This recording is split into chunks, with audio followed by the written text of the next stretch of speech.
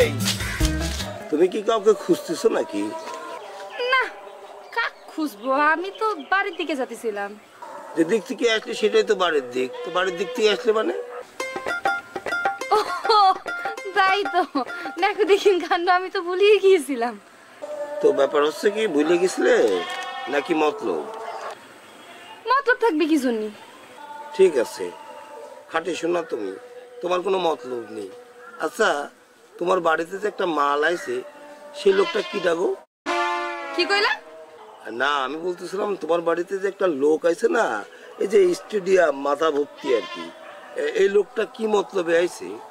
এই আব্বার বন্ধু একসাথে ব্যবসা করতে ঘুরতে আসিছে। আমার তো টেনশনে ঘুম হচ্ছিল না। কিসের টেনশন? আমি ভাবছিলাম তার সওয়াল আছে তার বিয়ের প্রস্তাব নিয়ে আসছে তোমাদের কাছে।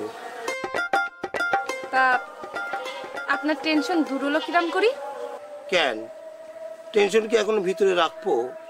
অবশ্যই রাখবা। এখানে সেখানে সিটায় পড়লে পারে ঝামেলা হবে না নে? টেনশন পুষে রাখব? ঠিক আছে। টেনশন নিয়ে আমি বসেই পড়লাম। টেনশন নিয়ে তাহলে বসে থাকো। হ্যাঁ?